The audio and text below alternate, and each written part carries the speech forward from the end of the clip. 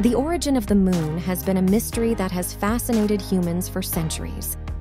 The most widely accepted theory is that the moon formed from the remaining debris after a giant impact between a proto Earth and a Mars sized protoplanet called Theia. This collision is believed to have occurred around 4.51 billion years ago, shortly after the formation of the solar system. The impact would have been so violent that it would have ejected a large amount of debris into orbit around Earth.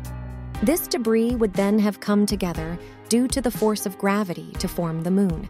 This theory is supported by several observations. For example, the chemical composition of Earth and the moon is very similar, suggesting a common origin. Additionally, the moon has a far side that is quite different from the visible side, which could be the result of a collision. However, this theory is not without its critics.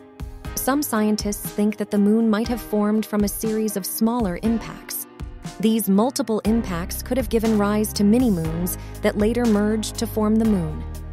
This alternative theory, while less widely accepted, raises important questions about how the mini moons could have combined to create an object as massive and coherent as the moon.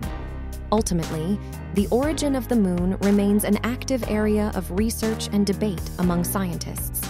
Space missions and modern technological advancements are providing more precise data about the moon's composition, structure, and history, which could eventually lead to a better understanding of its origin. Whatever the final explanation, the moon continues to captivate humanity.